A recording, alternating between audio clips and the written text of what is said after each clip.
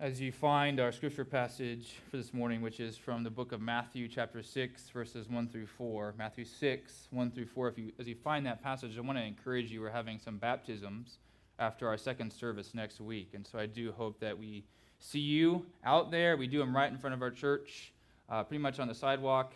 And you'll see how it works when you're there. But I hope that you will stick around for a while after the service and, and gather and watch and celebrate with the people who are uh, boldly professing their faith in Christ Jesus. Um, so praise God for those baptisms. That is His doing. And if you're interested in participating, it's not too late. Put something on your connection card. Find me after this service. Passage will be up here on the screen. If you have a Bible, I would encourage you to pull that out, follow along with us. If you are physically able to stand, please stand for the reading of God's word.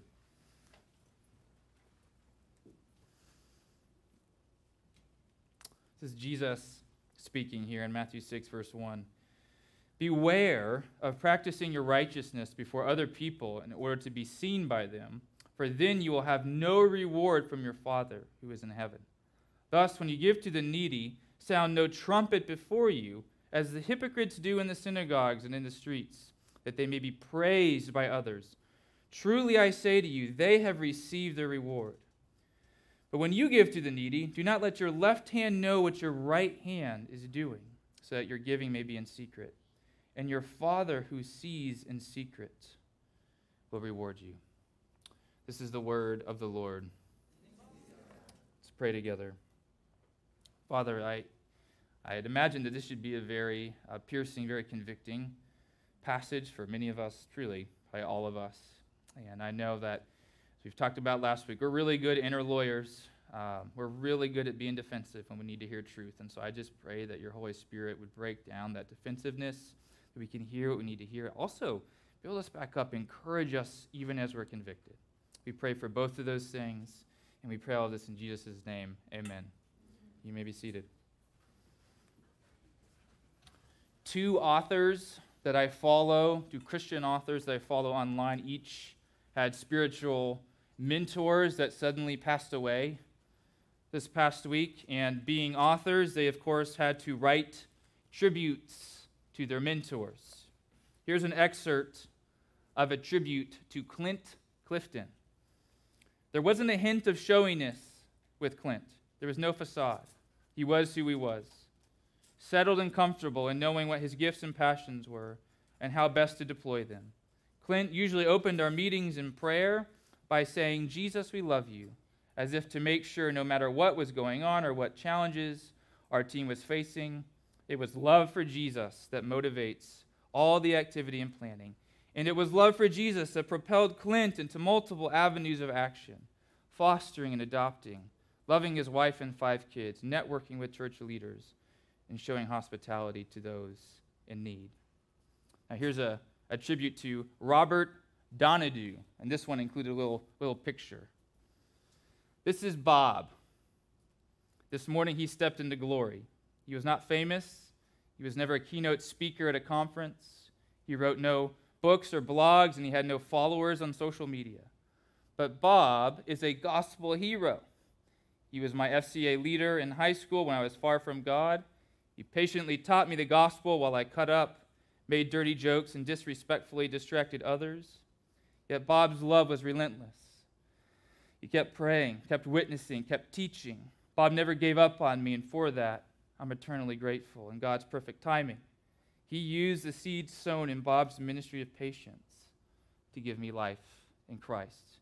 And then this past week, the Lord brought a friend of Kristen and I's named Joy to mind. I won't use her last name because last time I checked, Joy is still very much alive and kicking. Joy has a Facebook account, but that's it. And even then, she mainly posts pictures of elk she faithfully and sacrificially serves her church, uses her home for generous hospitality, cares for family members who have experienced very significant health challenges, checks on her neighbors, and takes special interest in people experiencing a range of difficult circumstances. There's a lot of beauty in these accounts, isn't there? Certainly, some of that beauty is found in the what the things that Clint and Bob and Joy have been up to. But perhaps even more beauty is found in the how. You know, the faithfulness, the quietness, the obscurity. A how that has nonetheless borne so much fruit despite the lack of public recognition. And yet, we live in an age of personal brand building, platforming, influencing. Success is very often measured according to metrics like total views or total followers. Listen, I, I genuinely believe that there are redemptive, God honoring ways to be a social media influencer. But isn't it at least a touch disconcerting that apparently 25% of Gen Zers aspire to be influencers, outpacing any other vocation? The, the mental image, you know, of, of millions of people clamoring to be seen and centered vocationally isn't maybe as beautiful as the portraits we were just talking about. And there's something, there's something about it that doesn't sit quite right with us, that, that kind of nags us a little bit, even if we're inclined to joke about it. And certainly, this issue isn't just, it's, it's certainly not just out there, it's definitely influencing, we might say, churches. We have Christian celebrities with massive followings online, subject both to public adoration when they do warm hearted things and public scorn when they tweet the wrong tweet. And we say that, you know, well, this is just part of being relevant, this is part of reaching people who increasingly live on the internet. So today turns out to be such a fine day to consider Jesus' exhortations concerning the beauty of secrecy when it comes to living righteously. In fact, it's a fantastic day to consider this given the example of righteous living that Jesus uses. We spent all day yesterday doing a seminar about caring for the least of these, and here we are this morning talking about giving to the needy. Two exhortations as we make our way through this passage. Two exhortations really straightforward. Number one, practice righteousness. And we're going to modify it a little bit after that. Number two, practice righteousness in secret. Practice righteousness, and then secondly, practice righteousness in secret. So let's get right after it with that first one practice righteousness. It's, very, it's really tempting to treat this passage mainly as this sort of don't be like the hypocrites polemic. But that posture breezes right by the very powerful assumption here from Jesus that his disciples will be practicing righteousness. Yes, there are right ways to do it, there are wrong ways to do it, but what is very clear is that disciples will be about it. Notice in verse 2 and verse 3 that Jesus says, when you give to the needy, not if. When you give to the needy, or even back in verse 1, practicing righteousness is assumed, which is why Jesus skips right to the hows instead of building a case for the why or the what. Practicing righteousness, it needs some attention here, lest we conclude that this is, you know, maybe meritorious righteousness of some kind that we're practicing to gain salvific favor from God. Recall chapter 5, verse 20, an earlier moment in the Sermon on the Mount in which Jesus tells his disciples, Unless your righteousness exceeds that of the scribes and the Pharisees, you will never enter the kingdom of heaven. Or how about chapter 5, verse 48? This was just last week. You therefore must be perfect as your heavenly Father is perfect. The problem with the righteousness, basically holy, set apart living, the problem with the righteousness of the scribes and the Pharisees is that it was righteousness disconnected from genuine heart change. That's really important. There were some good faith attempts to follow the law, God's standards. You know, we talk about this, the, the Torah. But these religious leaders were often missing the heart of the law because their hearts were not necessarily close to God. And clearly, I'm generalizing here. Not every scribe and every Pharisee was in the same place spiritually. And the thing is, righteousness pursued without closeness to God and without genuine heart change, it inevitably it becomes stifled and really, really distorted. Gutting out righteousness and our own power, you know, maybe to be good Christians or for pragmatic moral reasons, it is always fraught because our sinful pride and our, our self interestedness, those things are such elite saboteurs. Maybe we start with these decent intentions, but those intentions, they end up giving way to very powerful excuses, maybe for living righteously, but not too righteously, not so much that it really starts to cost us something. Or maybe those intentions give way to self serving motives to gain social status or, or public acclaim, maybe a, a good reputation in the community. We've said this several times throughout this series. I'm going to say it again. The law exists in very large part to show God's people how they should love God and what it looks like to love their neighbors.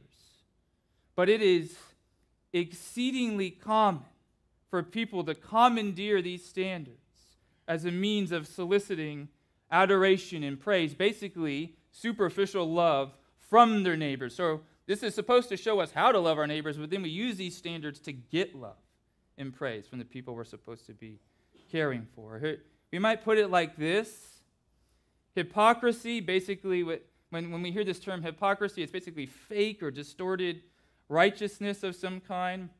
Hypocrisy proceeds from trying to live godly lives without God.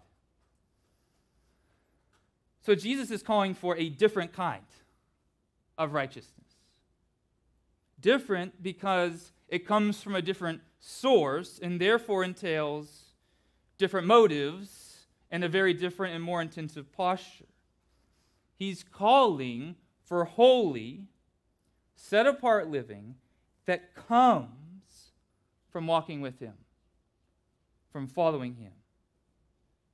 He's calling for deny yourself, take up your cross, and follow me commitment in which Jesus becomes our king and reshapes our affections.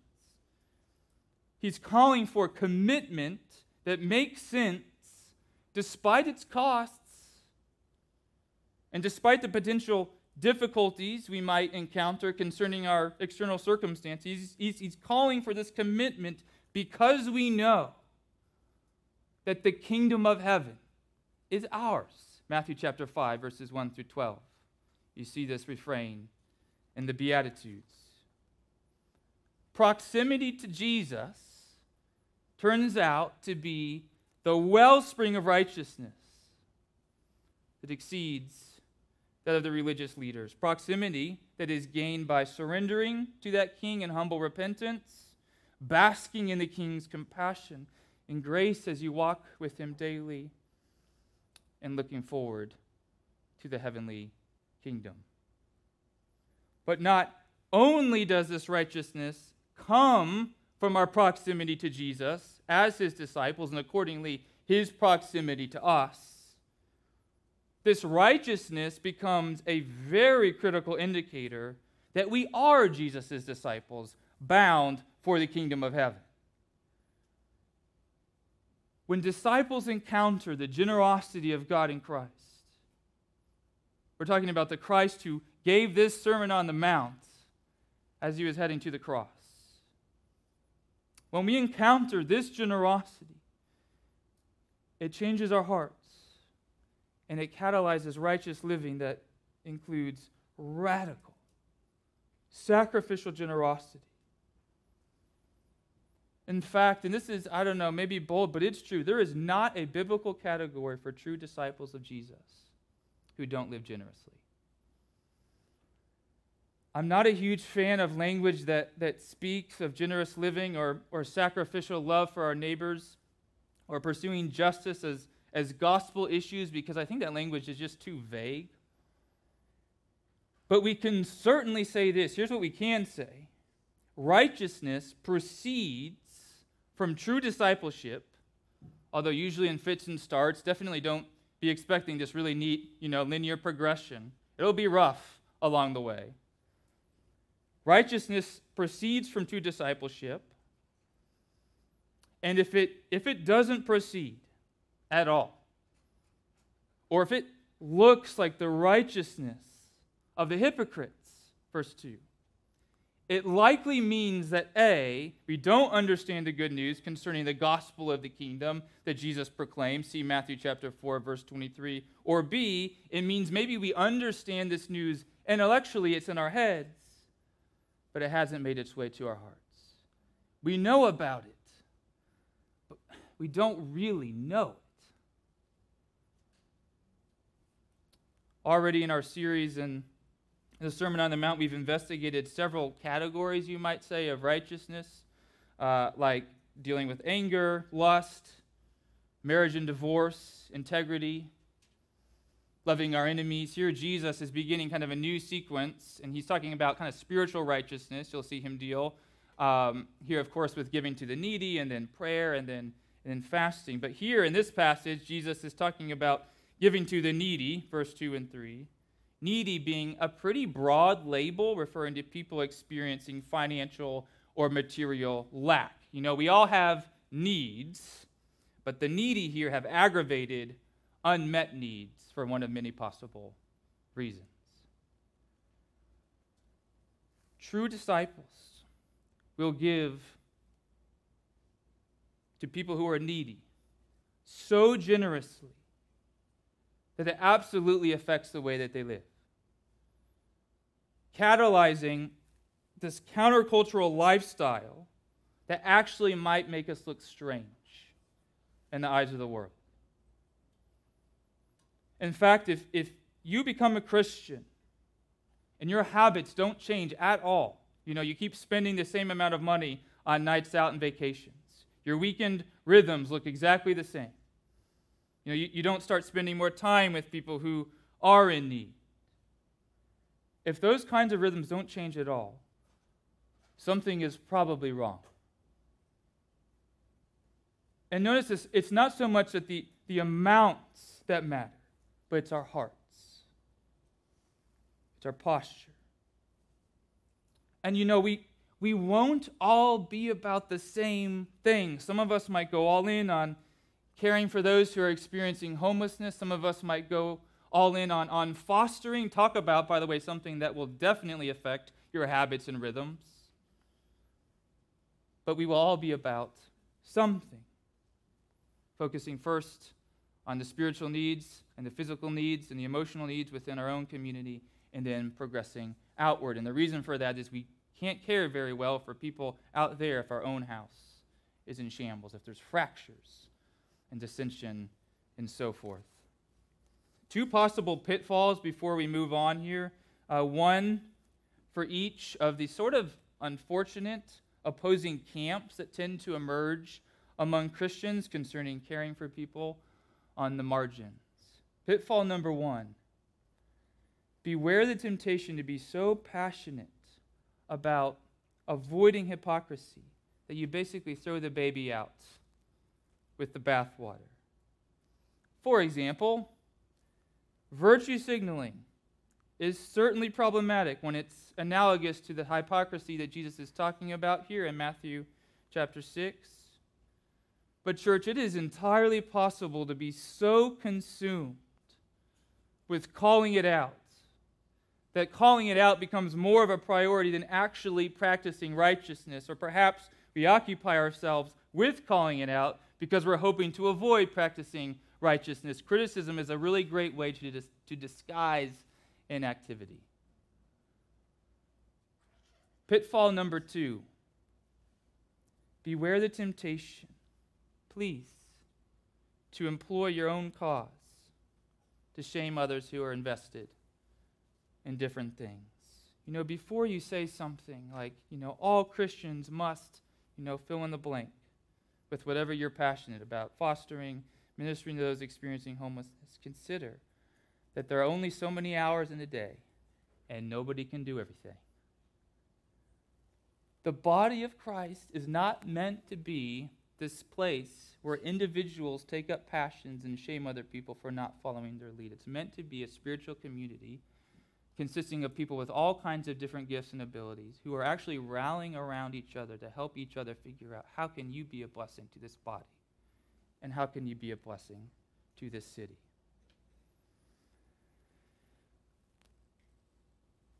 But there is a strong critique and a correction here from Jesus that we do need a way, especially in light of the, the influencer platforming follower patterns that we alluded to earlier. So, I don't know, let's spend 10 minutes bashing Instagram, shall we? Um, not really, but kind of. So here's our second exhortation. So, so we do, we practice righteousness, but we do so in secret.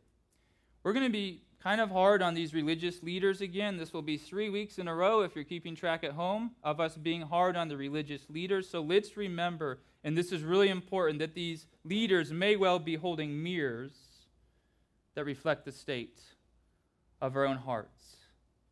To be really careful, we do not dare treat passages like these as occasions to be scornful of other people or self congratulatory. Honest heart investigation is, is always in order when we hear about these issues ascribed to the Pharisees and other religious leaders. Jesus makes it clear that some not all, but some of the religious leaders in his day had gone, I mean, all in on public righteousness. Instead of simply giving to the needy, they tooted their own horns, verse 2, in the synagogues and in the streets, literally that they might be praised by other people. I gotta tell you that toot is a very funny word right now in the Flaniken household. In fact, if you have a particularly bad GI day, someone might call you a Tutosaurus. These guys were Tutosauruses or Tutosauri, I don't know. And I'm actually using that language very intentionally because Jesus was basically maybe not mocking, that might be too strong, but he was he was certainly lampooning them. I mean, who knows if these leaders literally gathered a trumpet parade, you know, to publicize their generosity, but they were at least doing it figuratively. So Jesus uses this trumpet language intentionally to expose just the, the absurdity of what they were doing.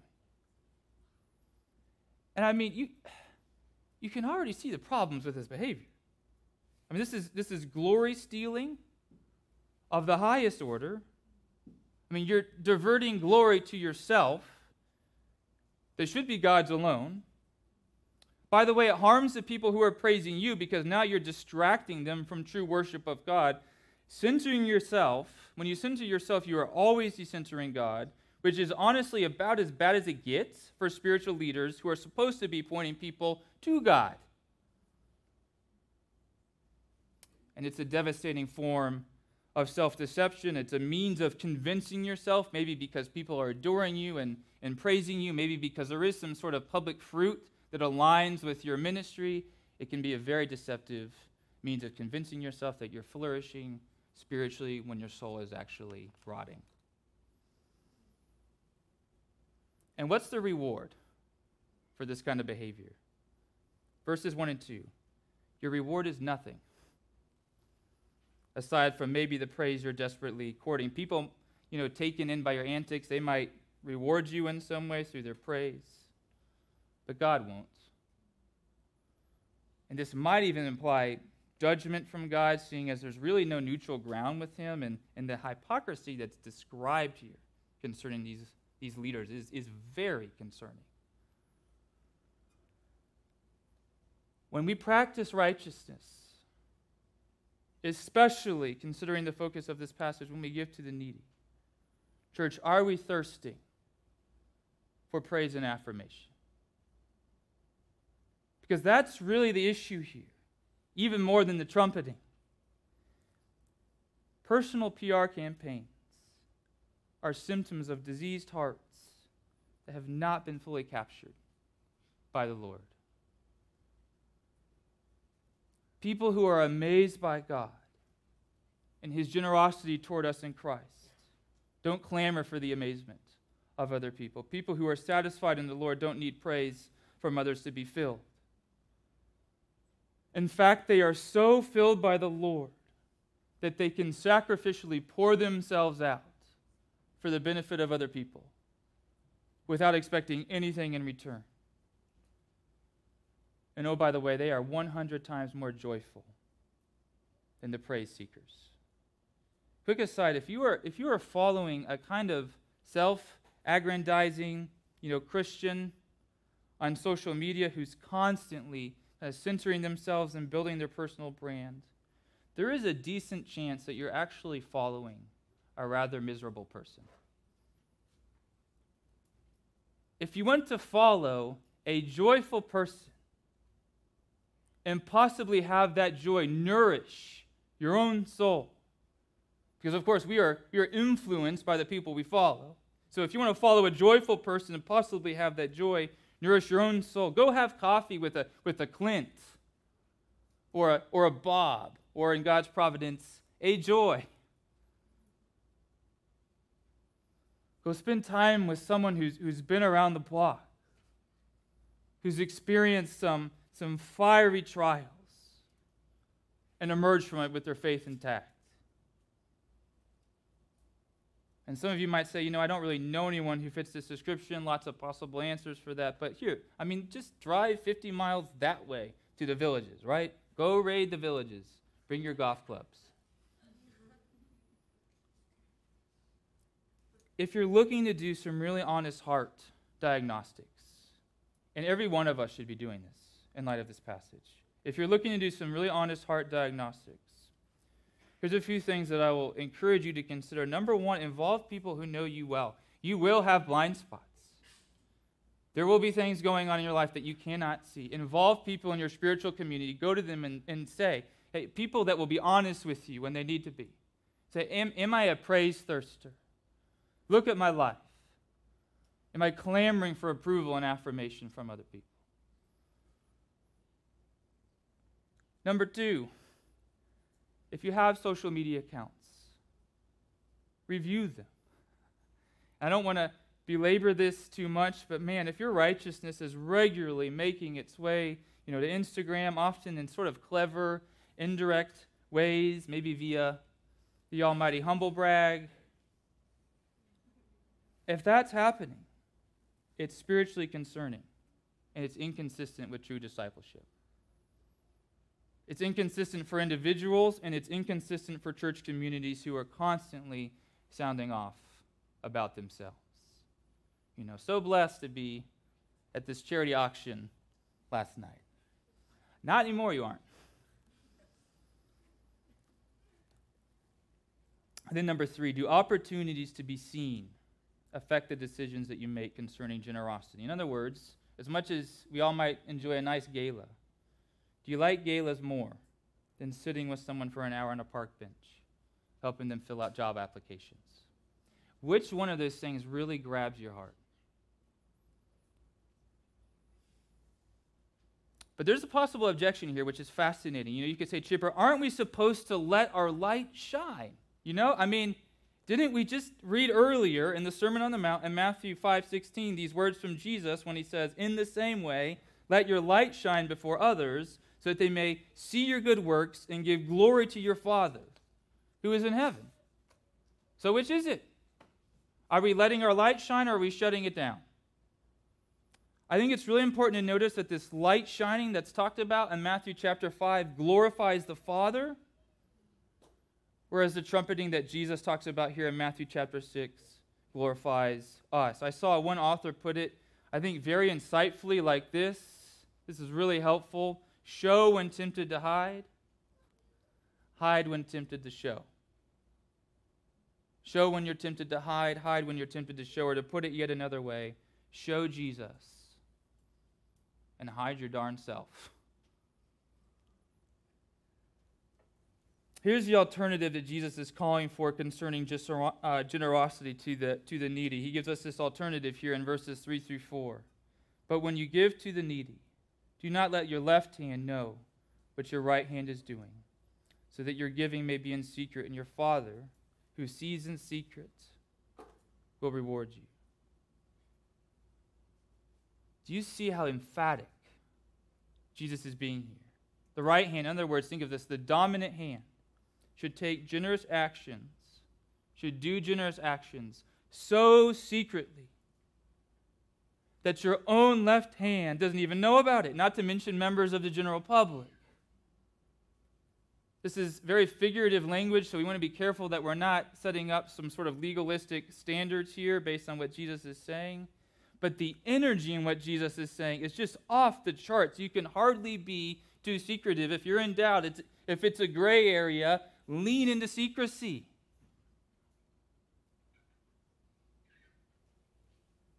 I realize that this might be pretty anxious counsel, which is a real danger here. You know, you might hear all of this and think to yourself, oh man, okay, so here's what I need to do I need to delete all of my social media accounts today.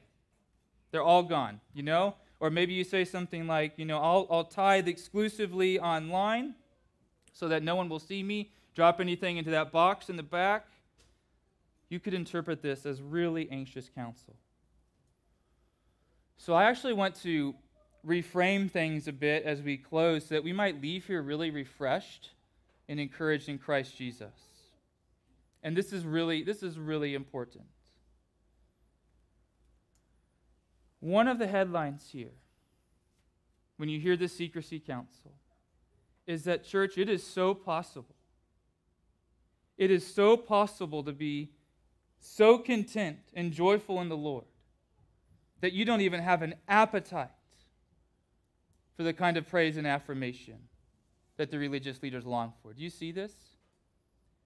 You can be so satisfied in the Lord, so swept up in the joy of the Lord, that you don't even have an appetite for the kind of praise and affirmation that these religious leaders were thirsting for. It's beautiful that's so compelling. And you know, if you're sitting here this morning, you're saying, listen, I'm not in that spot. I am a praise thirster. Here's what it means it means that there's so much more joy in Jesus to be found.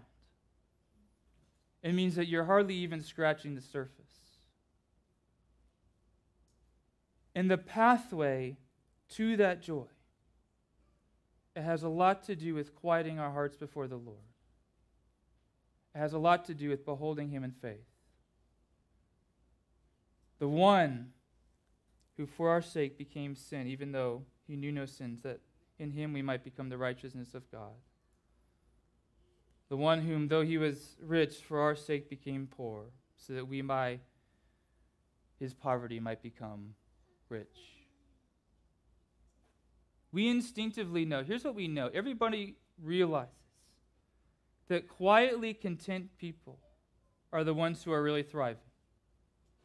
Don't you know that? The people that are waving their arms around and trying to get attention, they're not thriving. The people who are quietly content, they're the ones who are thriving. And you know, in Christ, that could be you. And you know, there, there is some cost here you know, there, there's something kind of buzzy about the, those hits of public affirmation for generosity or whatever the case may be. So there is some cost here. But even though there is a cost, here's what we do know God will reward us. What kind of reward? There's a, several possible kinds of rewards here. It's, it's a little tricky to, to pin down, but a few things I think are apparent that I'll mention. Uh, certainly, I mean, God's fatherly approval, not salvifically, but more like the encouraging presence of a father who already loves you. Reward possibly meaning the satisfaction of seeing your generosity make an impact, which is what true disciples want anyway, instead of personal praise.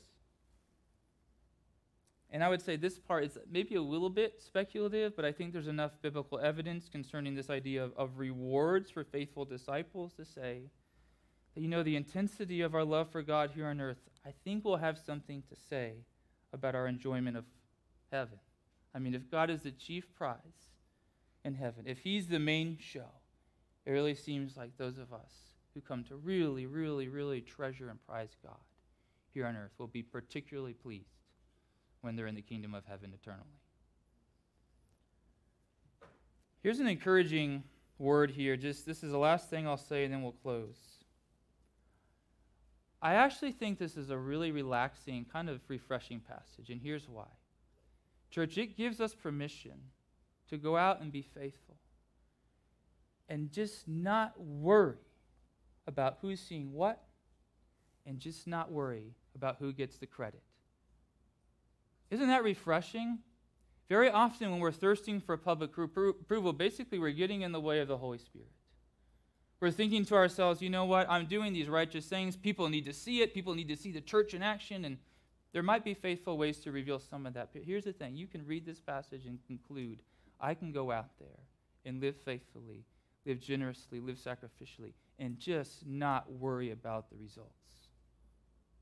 I can go out there and trust the Holy Spirit to do the Holy Spirit's thing, who, by the way, is way more effective than your social media platform. He will help the people who need to see this see it. He will take what you're doing, He will take your faithfulness, and He will multiply its effects. Amen.